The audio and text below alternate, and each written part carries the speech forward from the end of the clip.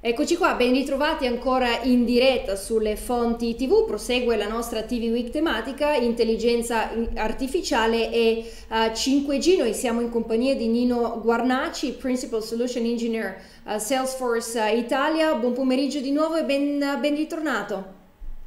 Eccomi, buon pomeriggio a voi Di nuovo. Allora, vorrei fare un um, velocissimo riassunto di ciò che si è detto ecco, nella tavola rotonda precedente dove abbiamo parlato di accessibilità alla tecnologia e eh, del modello di business che può abilitarla. Nella teoria sembra um, tutto piuttosto semplice, ma sul piano della realtà e concentrandosi sull'ambito del customer engagement e in cui Salesforce opera, quali sono eh, dei eh, casi d'uso concreti che rendono possibile una eh, messa a terra immediata di intelligenza artificiale e analisi dei dati? Allora, Alessandra, grazie della domanda. E, ehm, proverò a, a, diciamo, a, calarla un po' per terra, no? a scaricare a massa quello che abbiamo detto finora nel panel precedente.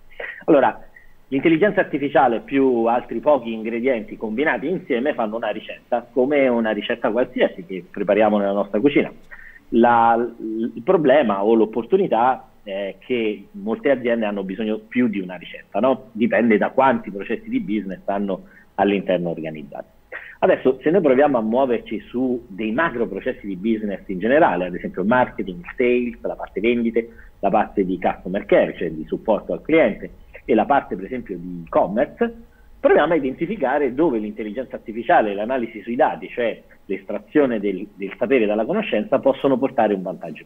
Allora, ad esempio, per quelle aziende che fanno del marketing uno degli strumenti abilitanti per i loro mercati, per, diciamo, per vincere anche in termini di, competitività, di competitività, sicuramente la capacità di poter fare quelle che noi in gergo tecnico chiamiamo audience, ma non sono altro che insiemi di popolazione, di persone che vengono classificate, che vengono identificate in base ai comportamenti, in base ai gusti, in maniera da poterli raggiungere con delle offerte sempre più puntuali.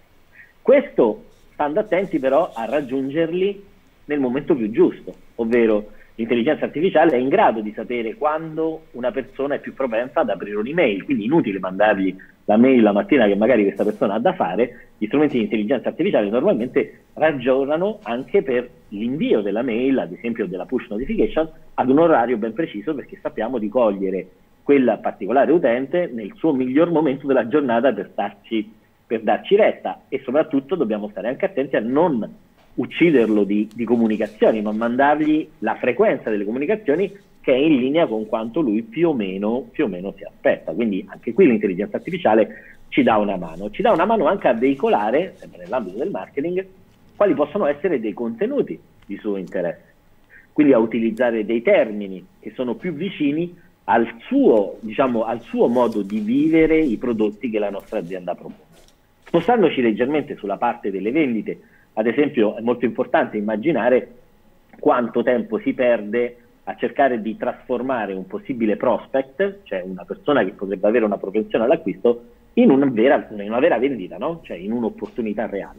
Ecco, anche qui gli strumenti di intelligenza artificiale ci aiutano, ad esempio il lead scoring è un termine che si usa per identificare una tecnologia di intelligenza artificiale applicata a un'analisi profonda dell'esperienza. Quindi se io volessi capire sulla base dell'esperienza dei miei dati aziendali quanti di quelli che che inizialmente avevano intenzione di acquisto, poi dopo sono stati convertiti realmente in un acquisto e sono in grado di applicargli sopra un algoritmo di intelligenza artificiale per fare questa conversione, questo permette a, alla mia organizzazione aziendale di concentrarsi solo e principalmente su quelle iniziative che maggiormente hanno possibilità di essere convertite in una, in una vendita. Così come la possibilità di poter accedere a delle fonti e poter garantire quindi che alla persona che fa magari il venditore per la mia azienda gli vengano consigliate delle azioni precise da poter fare per migliorare la conversione da una semplice opportunità a una vendita finale. Così come ad esempio l'intelligenza artificiale, sempre nell'ambito delle vendite, diventa perforante quando si va a fare una next best offer, next best offer, cioè si va a cogliere dal paniere dei prodotti che abbiamo in azienda da offrire quello che è più vicino ai gusti di quel cliente. Quindi il venditore sarà in grado di andare a fare un'offerta molto più puntuale rispetto alle sue, alle sue esigenze. E poi, se lo dovessi guardare in maniera anche un pochino più ampia, a livello di forecast, sapete molte aziende si stanno cominciando a organizzare sempre più in maniera, in maniera strutturata, quindi ci si può organizzare per fare un'analisi dell'andamento dei ricavi, magari con cadenze trimestrali. Ecco, nell'analisi dei forecast l'intelligenza artificiale ci permette di andare di aiutarci a fare delle piccole correzioni durante l'anno per poter raggiungere gli obiettivi che ci siamo prefissati magari per quell'anno, per quell'anno solare, per quell'anno fiscale. Nell'ambito per esempio dell'e-commerce è molto importante, l'intelligenza artificiale ci dà la possibilità di poter raccomandare, suggerire, addirittura organizzare i risultati che compaiono sul sito in base ai gusti delle persone.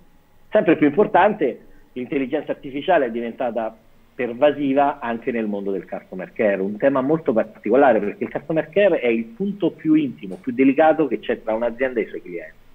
È nel momento in cui il cliente ha bisogno di quell'azienda, è il momento in cui il cliente che si è affidato originalmente all'acquisto da quell'azienda adesso va a vedere se effettivamente la scelta che ha fatto è quella giusta. Ecco, nel mondo del customer care l'intelligenza artificiale agisce principalmente sulla customer satisfaction, cioè rendere sempre più soddisfatti i clienti di quell'azienda e nel poter ridurre il numero di casi, quindi la case deflection, noi la chiamiamo così, eh, nel, nel, ridurre il numero di casi che i clienti aprono nei confronti di quell'azienda, perché significa che stiamo offrendo degli strumenti magari in self-service sempre più utili. In questo caso l'intelligenza artificiale ci viene in aiuto ad esempio con quella che noi chiamiamo case classification, cioè riuscire a classificare le richieste in maniera preventiva così da assegnare alla persona più giusta in tempo reale così che la possa, diciamo, con rapidità lavorare e chiudere, quindi che il cliente sarà più contento.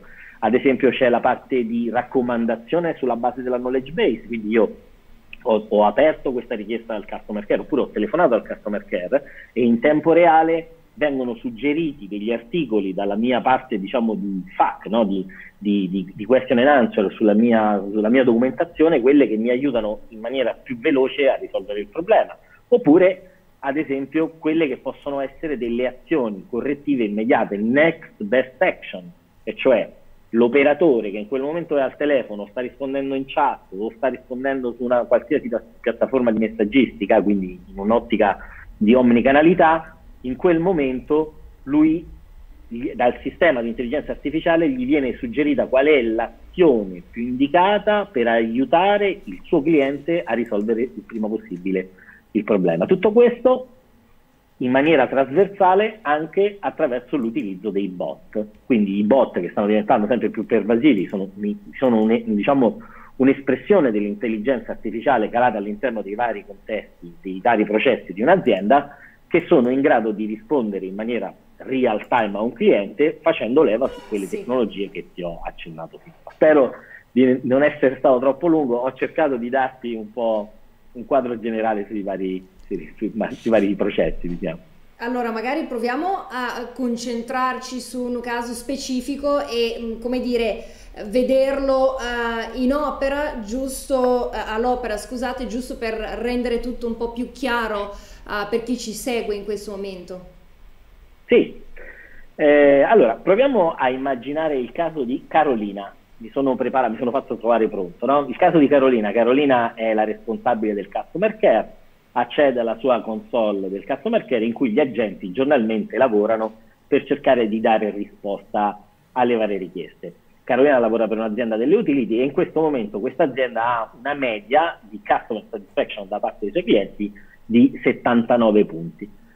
Che cos'è che guida la customer satisfaction all'interno di questa azienda delle utility? Vedete, attraverso l'accesso ai dati, l'analisi dei dati, Carolina con semplicità riesce a capire quali sono quei fattori che rendono i suoi clienti più contenti e i suoi clienti meno contenti, sulla base so, dei prodotti che hanno acquistato, dei problemi che hanno avuto, del tipo di canale che hanno utilizzato per raggiungersi. E quindi riuscire a fare anche una segmentazione di questi e capire su quale canale ad esempio siamo più performanti, magari via telefono siamo più performanti, via email meno performanti, oppure su quali prodotti in offerta siamo più performanti da un, da un, punto di vista di customer satisfaction, quindi di tempi di risoluzione del caso, di soddisfazione del cliente nel lavorare il caso.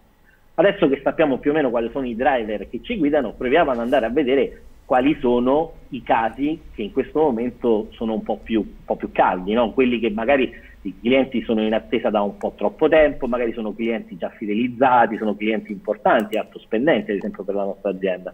E quindi mi concentro sui casi. Carolina il suo compito è quello di aiutare i suoi agenti, quelli che lavorano per lei, quindi decide di concentrarsi su quei casi che in questo momento richiedono di più la sua attenzione, quelli, quelli più alti, catalogiamoli come, come, diciamo, come maggiore attenzione, e quelli sul quale siamo attualmente stiamo lavorando, siamo in uno stato di working, chiamiamolo così. Adesso, come potete vedere, compare in automatico la lista di quei casi che rientrano all'interno di quel filtro. Ne seleziono uno, quello magari che richiede maggiormente la mia attenzione, e accedo direttamente a questo caso. Eccomi qua. Sono di fronte all'esigenza che ha questo cliente. In questo momento sto vedendo che cosa accade, come mai questa richiesta è ferma lì da molto tempo, vado a vedere in che stato si trova e come potete vedere sono state violate un po' tutte le promesse che avevamo fatto, cioè violate nel senso che non siamo stati, non siamo stati in grado di rispondere ai tempi. E in questo momento la customer satisfaction di questo cliente prevista, predicted, è molto bassa. Tra l'altro questo cliente ha aperto con noi già altri 11 casi, quindi è un cliente che già acquista da noi, è un cliente già fidelizzato. Se ci concentriamo un attimo sulla parte dell'intelligenza artificiale, vedete ci sta dicendo non solo quali sono i fattori che stanno determinando questo basso, diciamo, questo basso rendimento, ma anche quali potrebbero essere delle azioni correttive per aiutare a tirare su la customer satisfaction. Quindi decidiamo di offrirgli un voucher, un voucher di sconto per il prossimo acquisto. Vedete, la customer satisfaction in questo momento fa un balzo, è una predicted, quindi è sulla base dei dati storici, l'algoritmo ci sta dicendo quali sono le azioni. In questo caso vedete anche nella parte di Next Best Action ci sta suggerendo quali azioni risolutive o pseudo risolutive potremmo fare per poter portare a termine questo case. Carolina conclude la giornata o conclude la lavorazione di questo case richiamando il suo collega che ha in carico questo case e chiedendogli di accelerare il processo di risoluzione. Come potete vedere, in tre minuti, più o meno tre minuti e mezzo, abbiamo portato a casa uno use case davvero completo nell'ambito customer, del customer care, ma non necessariamente nel mercato delle utility, in uno dei vari mercati. Alessandra, ci sei? Assolutamente sì, eh, ecco è stata una dimostrazione eh, molto interessante, io la ringrazio Nino eh, Guarnaci, eh, Principal Solution Engineer Salesforce Italia, grazie mille per questa dimostrazione. Grazie a te e un saluto a tutti gli spettatori. Grazie, allora noi ci prendiamo una brevissima pausa pubblicitaria, però rimanete con noi perché eh, dopo la pubblicità ci raggiunge nuovamente Stefano Gatti, eh, Head of Data Analytics at Nexi.